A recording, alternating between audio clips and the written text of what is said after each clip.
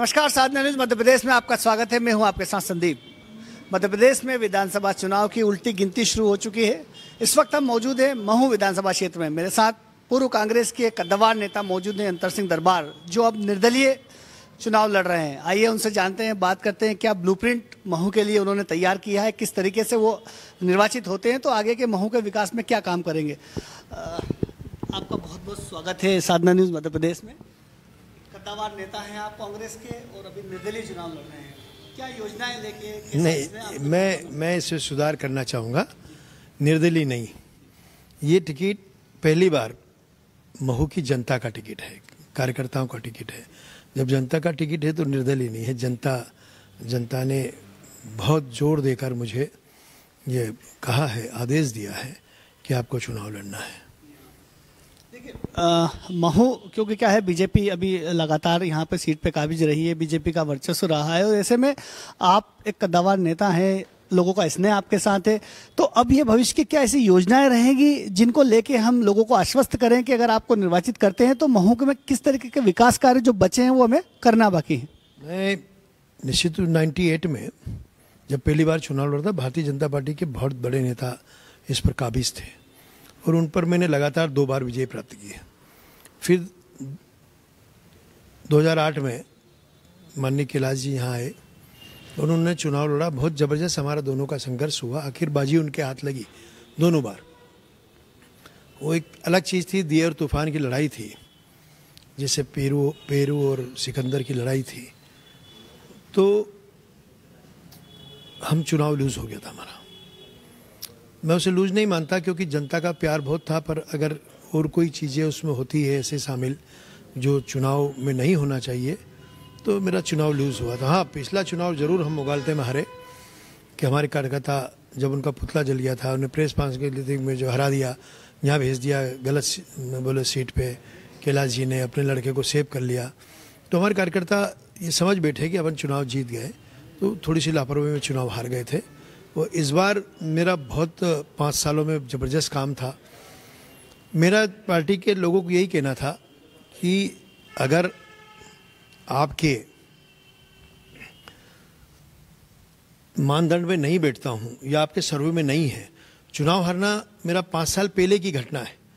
पर आज अगर आपके सर्वे में नाम आ रहा है और पहले नंबर नाम आ रहा है, एक तरफ़ एक पार्टी जो टॉप टेन में है सेंट्रल मिनिस्ट्री में, नरेंद्र तोमर जी, उनको चुनाव विधानसभा का लड़ा रही है, प्रहलाद पटेल को लड़ा रही है, कैलाश विजयवर्गीय जैसे गद्दार नेता जो महामंत्री है, उनको लड़ा रही है, सांसदों को उतार रही है, चुनाव जीतने के लिए। एक तरफ़ आप जीती हुई सीट पर जो है, वो किंतु परंतु कर रहे हो, ये कितना दुर्भाग्य और दुर्भावना है। जब मुझे ये चीज़ें थी आपको कि भाई तीन बार वाले को नहीं तो मुझे राहुल गांधी जी की सभा बुला कर क्यों दी? मैंने ज़बरदस्त सक्सेस की उसको। सफल बनाया उसको। वो खूब संघर्ष करा, पाँच साल। मेरे संघर्ष के कारण ही माननीय सुश्री हमारी जो विधायक है, उषा जी, मुझे ऐसा मानना है कि उनने इंदौर तीन और एक में टिकट मांगी थी। पर जब मेरा टिकट नहीं हुआ तो उनने ताबड़तोड़ दिल्ली जाकर के टिकट लाई।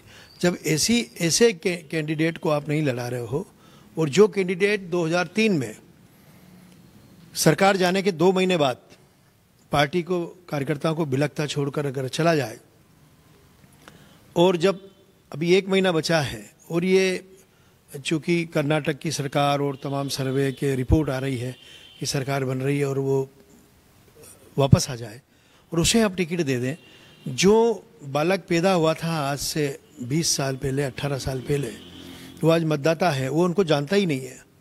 जब 20 साल में आप वापस आए हैं तो ऐसे व्यक्ति को किस मानदंडों में टिकट दिया? बस मेरा इतना सा। इसलिए मैं चुनाव लड़ रहा हूँ नहीं तो मैं पार्टी का एक बहुत ही, मैंने पार्टी को अपने खून पसीने से सींची है। आज जब मैं पाँच साल विधायक रहा, तब सरकार नहीं थी। पंद्रह साल से मैं पद पे भी नहीं हूँ तो भी कार्यकर्ताओं को मैंने अपने बलबूते पर, जो उनकी समस्याएँ थी या कोई भी झंझट आया हो तो मैंने उनका काम करा है। तभी तो आज कार्यकर्ताओं का हजूम और रैलियाँ आप देख रहे हैं, मेरे साथ है। तो ये चीज़ें पार्टी को सोचना चाहिए थी। अगर पार्टी का कोई भी, जो व्यक्ति टिकट मांग रहे थे जो मेरे से दूसरे नंबर पे थे या तीसरे नंबर पे थे, उन लोगों को किसी को भी दे देते। तो मेरी नैतिक जवाबदार- थी कि मैं उनका काम करूँ।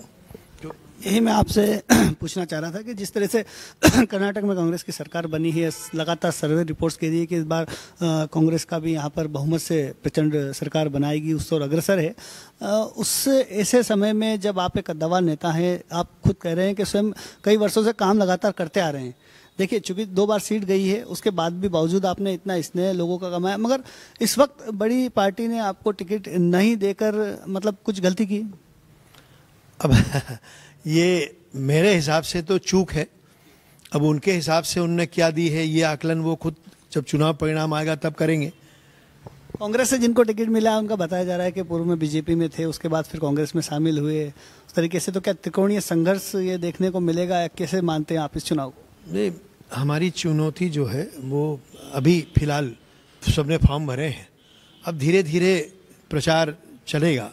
और प्रचार करने के बाद आप जैसे लोग जब इसका आकलन करेंगे, जो कि प्रजातंत्र का चौथा प्रहरी है, तब जाकर कहीं सही चीज़ सामने आएगी। मैं आज दावा कर दूँ तो मायने ये रहेगा कि ये घमंड की बात है।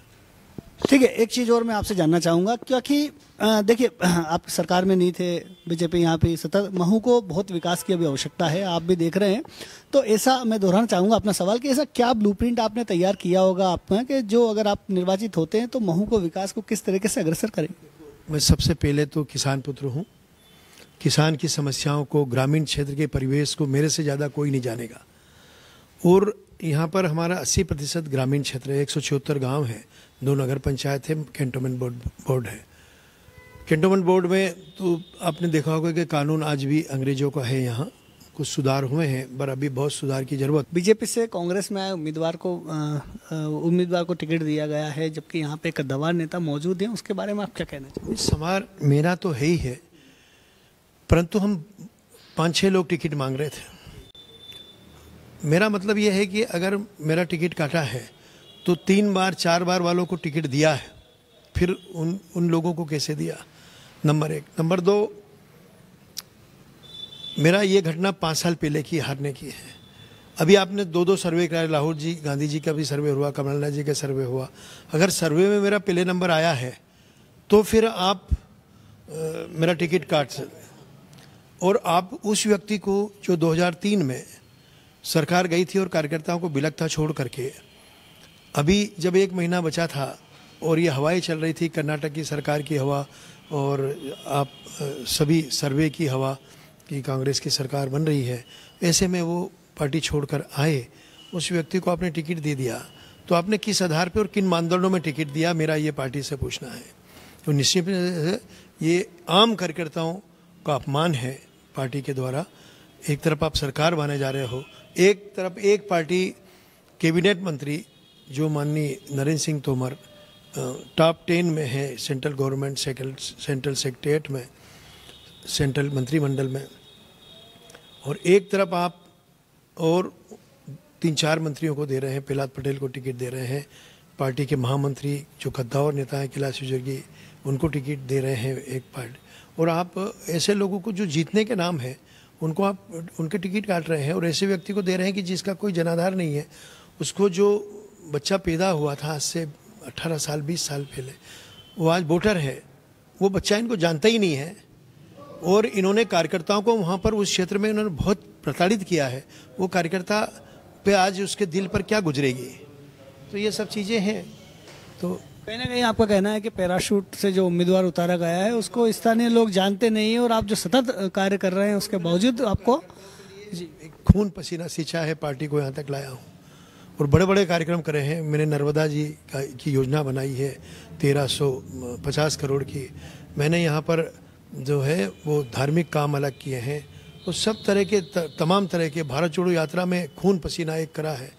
और जितना काम मध्य प्रदेश कांग्रेस कमेटी नहीं कर पाई थी भारत जोड़ो यात्रा में वो काम मैंने अकेले अपने दम पर अपना पैसा खर्च करके किया। है उसके बाद पार्टी ने वोट नहीं दिया जो टिकट नहीं। पीड़ा आपके पास है कि कार्यकर्ता की पीड़ा है। या हम कार्यकर्ताओं की पीड़ा आपके माध्यम से मैं शेयर कर रहा हूँ। और यहाँ पर आप देखेंगे जब मैं तीन बार का हरा था तो फिर मुझे भोपाल बुलाकर माननीय राहुल गांधी जी की सभा की जवाबदारी क्यों दी आपने? वो मैंने पूरी उस बात को निभाई और ये पता चला कि बुरहानपुर में प्रियंका जी आई है और महू तक रहेगी तो हमने फिर महिलाओं पर जोड़ दिया और उस महिला में उस सभा में हमने साढ़े तीन, चार हज़ार महिलाएँ रात को लेट हो गए, खड़गे जी का प्लेन लेट हो गया, उसके बाद भी हमने सभाएँ करी तो ये सब चीज़ें इतनी इग्नोर करना और एक तरफ़ सरकार बनाने की बात कर रहे हैं तो कहाँ से सरकार बनेगी? बहुत बहुत धन्यवाद आप